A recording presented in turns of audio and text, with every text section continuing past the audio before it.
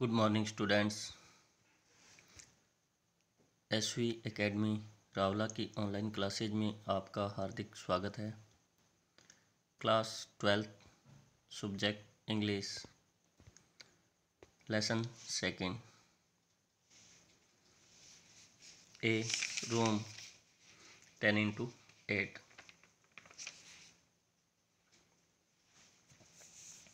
पिछले वीडियो में अपने इस लेसन को पढ़ रहे थे। आज उसी से आगे अपने स्टार्ट करने जा रही हैं। तो आपकी बुक के पेज नंबर एट का सेकंड लास्ट पैराग्राफ जहाँ से अपने इसे पढ़ेंगे। अब तक हमने पढ़ा था मलिक फैमिली के बारे में, जिसमें श्रीमान मलिक एक जॉब में हैं और उनकी पत्नी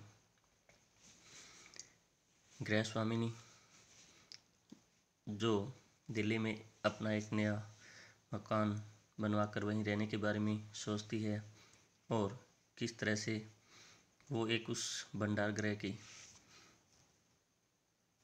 जिसमें वो चाहती है कि मृत्यु होने से पूर्व उनकी सास को वहाँ रखा जाएगा और बाद में उसी को एक भंडार गृह के रूप में काम में लिया जाएगा।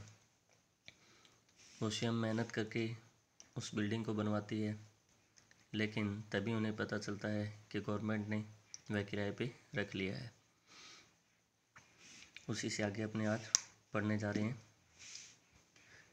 Then they were transferred from Delhi तभी उनका दिल्ली से स्थानांतरण हो गया। यानी कि श्रीमान मलिक जो दिल्ली में जॉब कर रहे थे, अब उनका स्थानांतरण कहीं अन्य अन्यतर हो गया। हालाँकि उन्होंने मकान है, वो भी दिल्ली में ही तैयार करवाया था। Mistress Malik was happy. इससे श्रीमती मलिक खुश थी। अब सोचो यहाँ पे कि ऐसा क्यों है? जब वो उस नए मकान में रहना चाहती है, वहीं पे उन्होंने अपनी मेहनत से मकान बनवाया, खुद मेहनत करके। फिर भी वो वहाँ से स्थानांतरण होने पे खुश है। क्यों? देखते हैं। She would no more see her house regret not being able to live in it, and then thinking of the sensational rent feel consoled क्योंकि वो सोचती है कि अब वह इस घर को और अधिक नहीं देख पाएगी तो इस मकान में नहीं रहने का दर्द भी उसे नहीं सताएगा। और बाद में किराए से प्राप्त होने वाली उस भारी रकम के बारे में सोचकर वे अपने मन को सांत्वना देती थी। यानी कि उसने सोचा कि अगर यहीं रहेंगे तो ये बिल्डिंग जो हमने अपनी मेहनत से बनवाई है, इसमें नहीं रह पाने का दुख सताएगा। लेकिन यहाँ से चले जाएँगे तो ना तो ये बिल्डिंग दिखेगी और ना मन में बार बार ऐसे विचार आएँगे। और आखिरकार अपने मन को वो सांत्वना देने के लिए उस किराए की बारी, रकम के बारे में सोचती है। Transferred from one place to another they had to wait for many more years for another term of posting in Delhi इस प्रकार एक जगह से दूसरी जगह तक स्थानांतरित होते रहने के कारण उन्हें दिल्ली में पुनः पदस्थापित होने में कई और वर्षों का इंतज़ार करना पड़ा। यानी कि उसके बाद में उनके स्थानांतरण एक जगह से दूसरी जगह होते रहे और उन्हें काफ़ी लंबा इंतज़ार करना पड़ा कि वो फिर से दिल्ली में उनकी पदस्थापना हो और वो उस मकान तक जाए। In the meanwhile mistress Malik mother in law passed away और उसी दौरान श्रीमती मलिक की सासू माँ है, वो गुजर गई। यानी कि उनकी मृत्यु हो गई। Their daughter had been married और उनकी पुत्री की शादी कर दी गई। यानी कि श्रीमती मलिक की पुत्री जो थी, उसका विवाह हो गया। In a way they very they were lucky that their house had been rented to the government एक प्रकार से वो भाग्यशाली थे कि उनका मकान सरकार ने किराए पर ले रखा था। Private tenants are such a head और वो सोचते हैं कि निजी टेनेंट्स का मतलब किराएदार, कि निजी किराएदार तो केवल सरदर्द होता है। यानी कि एक आपत मोल लेने के समान होता है। There is no end to their complaints and demands और वो सोचते हैं कि जो निजी किराएदार होते हैं, उनकी शिकायतों और मांगों का कोई अंत नहीं होता है। And then they are more often that not irregular in the payment of rent और उसके बाद में वो सोचते हैं कि और तब अक्सर वे किराए का भुगतान समय पर नहीं करते। Mistress Malik house having been requisitioned by the government. The rent was credited to their bank account every month regularly Shrimati Malik के मकान को जब सरकार ने अधिकृत कर लिया तो फिर किराए की रकम प्रति माह नियमित रूप से उनके बैंक खाते में जमा होती गई। Only their son remain to be married now अब तो केवल उनके पुत्र का वह करना ही शेष था। Mister Malik thought that they would rather be done with it before he retired और श्रीमान मलिक सोचते थे कि उन्हें सेवानिवृत्त होने के पहले यह भी कर देना चाहिए। यानी कि वो सोचते थे कि इससे पहले कि मैं सेवानिवृत्त हूँ, उससे पहले मुझे ये काम भी निपटा देना चाहिए। Their son had been married mister Malik had retired from service but their house had not yet been released by the government उनके पुत्र का विवाह हो गया और श्रीमान मलिक भी पदमुक्त हो गए, यानी कि सेवानिवृत्त हो गए। परंतु उनके घर को सरकार के द्वारा अभी भी मुक्त नहीं किया गया था, यानी कि वो अभी भी सरकार के अधिकार में था। And mistress Malik lived with their son and daughter in law in a rented house Shriman और श्रीमती मलिक अपने पुत्र और पुत्र वधु के साथ एक किराए के घर में रहते थे mister Malik was still fighting with the government for the release of the house when he, his end came. श्रीमान मलिक अभी सरकार से अपने घर को मुक्त करवाने के लिए झगड़ ही रहे थे, यानी कि संघर्ष कर रहे थे, प्रयास कर रहे थे कि उनका अंत आ पहुँचा। He passed away without being able to live in his house even for a day और बिना एक दिन के भी अपने द्वारा निर्मित उस घर में रहे बिना ही वे गुजर गए, यानी कि उनकी मृत्यु हो गई। Now within three months the house was derequisitioned और अब तीन महीनों के अंदर ही उनके घर को अधिग्रहण से मुक्त कर दिया गया, यानी कि जो पहले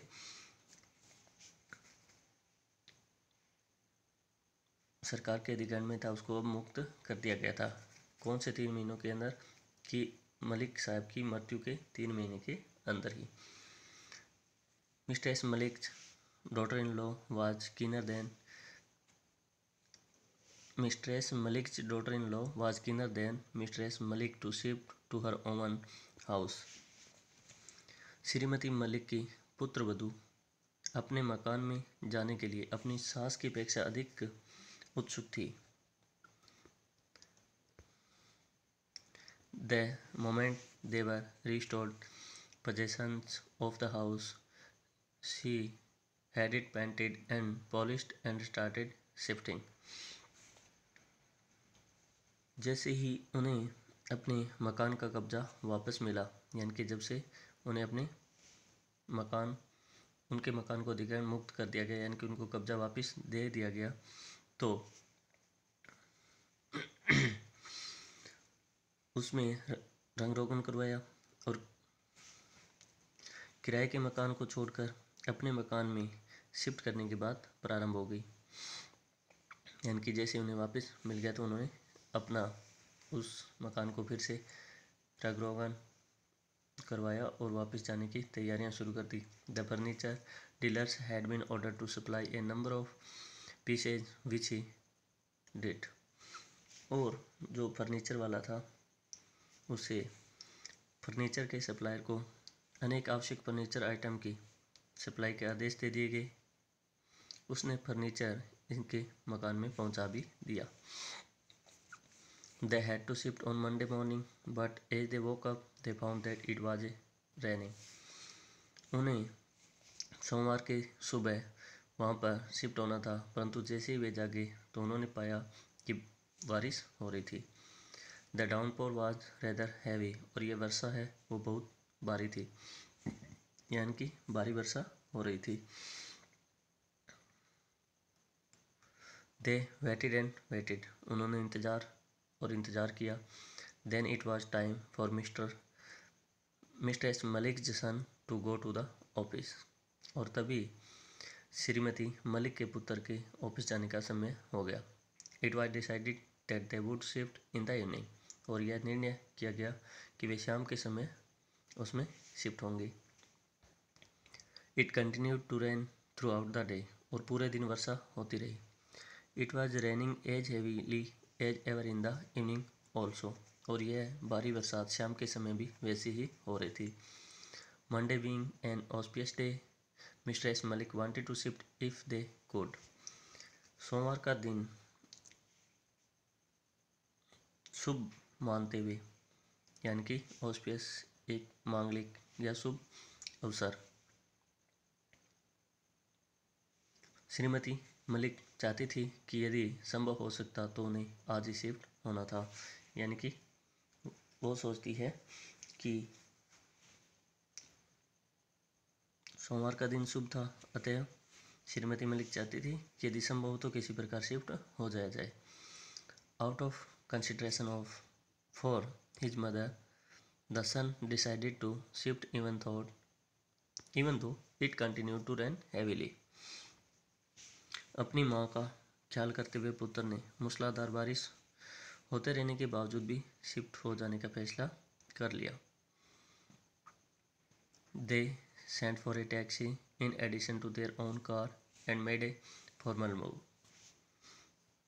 अपनी स्वयं की कार या गाड़ी होने के बावजूद भी उन्होंने किराए की एक टैक्सी भी मंगवा ली तथा अपने घर में प्रवेश की औपचारिकता को पूरा किया the rest of the luggage could be shifted later और बचे हुए सामान को बाद में स्थानांतरित या वहाँ पे बदला जा सकता था। इट वॉज़ रेनिंग इंसेंटली और बारिश है वो लगातार हो रही थी। Sitting in the back seat of the car mistress Malik was lost in memories car की पिछली सीट पर बैठे हुए श्रीमती मलिक अपनी स्मृतियों के अंदर खो गई। यानी कि वो अपनी उन यादों के अंदर खो गई कि किस तरह से उन्होंने मकान बनाया था या जो कुछ भी है। What pains she had taken while the house was under construction और वो सोचती है कि जब यह मकान निर्माणाधीन था, उस समय इसके बनाने में उसने कितना परिश्रम किया था। The days when she missed her meals और वो दिन याद करती है कि जब वह इस बागदौड़ के अंदर अपना भोजन भी नहीं कर पाती थी। The day she stood in the scorching heat of the sun supervising the work in progress scorching heat यानी कि झुलसाने वाली गर्मी। भीषण झुलसाने वाली गर्मी के दिनों में भी वह झुलसाती धूप में निर्माण कार्य की प्रगति देखते हुए खड़ी रहती थी। The day she was drenched in rain और बरसात में तरबतर भीगते रहकर भी कार्य का निरीक्षण करती थी। The architect had prepared a sketch of the house in color, the way it would look when completed. वास्तुकार ने मकान का एक रंगीन रेखा चित्र बनाया था, जिसे देखने पर यह मालूम पड़ता था कि निर्माण पूरा हो जाने पर यह मकान कैसा दिखेगा। It had the figure of the lady of the house standing on the veranda with her back towards the marble pillar इसमें उसने गृह स्वामिनी का चित्र बनाया था, जहाँ उसे बरामदे में संगमरमर के स्तंभ की तरफ़ पीठ किए हुए खड़े होने की मुद्रा में दिखाया गया था। एलिगेंट एंड ग्रेसफुल यानी कि कितना सुंदर, भव्य और सुरुचिपूर्ण था। ए इमेज ऑफ़ कंटेंटमेंट यानी कि एक संतुष्टि की प्रतिमूर्ति लगती थी, यानी कि एक मूर्ति जो एक संतुष्टि से भरी हुई हो। क्लैडी ने मैरून साड़ी और जो कि लाल, बादामी रंग की साड़ी पहनी हुई थी। Mistress Malik felt that the architect had painted her Shrimati Malik ने महसूस किया कि वास्तुकार ने उसे ही वहाँ पर चित्रित किया था। But she never wore maroon coloured sari, परंतु वह तो कभी भी मैरून कलर की साड़ी नहीं पहनती थी। The figure in the sketch however was as tall as mistress Malik और उस स्केच की आकृति हालाँकि उतनी ही लंबी थी जितनी कि श्रीमती मलिक स्वयं। Reclining against the pillar she stood the way mistress Malik use to stand और वो सोचती है, स्तंभ का सहारा लिए चित्र वाली महिला ठीक उसी तरह खड़ी थी, जिस प्रकार श्रीमती मलिक खड़ी होती थी mistress Malik the figure in the sketch and would go and stand before the dressing table many a time. Shrimati Malik कई बार स्केच के उस चित्र को देखती और फिर घर में अपनी ड्रेसिंग टेबल के सामने खड़ी होकर निहारा करती थी। She thought that she must show that sketch to her daughter in law some time और वह सोचा करती थी कि कभी इस स्केच को वह अपनी पुत्र वधु को अवश्य दिखाएगी। Her daughter in law was sitting on the front seat with her husband और उनकी पुत्र वधु अपने पति के साथ आगे की सीट पर बैठी हुई थी। Moving the river view glass of the car towards her और जिसने की पीछे का दृश्य दिखाने वाले कार के शीशे को अपनी तरफ़ घुमाया हुआ था। She started repainting her lips और उसने अपने होठों को फिर से रंगना शुरू कर दिया। Where was the need to paint the lips when they were going to their own house ये श्रीमती मलिक सोचती है कि जब वे अपने स्वयं के घर में जा रहे थे तो उन्हें फिर से रंगने की कहाँ आवश्यकता थी? At the most they would eat and then go to sleep अधिक से अधिक वे भोजन करते और उसके बाद में सो जाते। Strange are the ways of modern girls और वो कहती है कि आजकल की इन लड़कियों का तो अजीब सा तरीका है। And how the girl talked और उसके बाद में सोचती है कि बोलता कैसी, बोलती कैसी है? यानी कि आजकल की लड़कियाँ बातें कैसे करती है? सी बाद जैबरिंग स्टैंटली और उसके बाद में वो कहती है कि लगातार ये तो बकबक करती रहती है। जैबरिंग यानी कि कंटिन्यू बोलते जाना। Why must she talk with her own husband in English और उसके बाद में वो कहती है कि उसे अपने पति से इसमें अंग्रेज़ी में बात करने की कहाँ आवश्यकता है? यानी कि वो अपने पति से अंग्रेज़ी में बात क्यों करती रहती है? Mistress Malik had not picked up English. Shrimati Malik है वो, अंग्रेज़ी नहीं सीख पाई थी। She had failed in this only वह केवल इसी में ही ऐस पल रही थी। She had accomplished everything else in life बाकी इसके अतिरिक्त उन्होंने जीवन में सब कुछ प्राप्त कर लिया था। She learn ballroom dancing और यहाँ के, यहाँ तक कि उन्होंने बॉल डांस करना भी सीख लिया था। तो आज की इस वीडियो में इतना ही। मिलते हैं नेक्स्ट वीडियो में इसी लेसन के साथ। इसे कंटिन्यू करेंगे। तब तक के लिए goodbye thanks for watching and have a nice day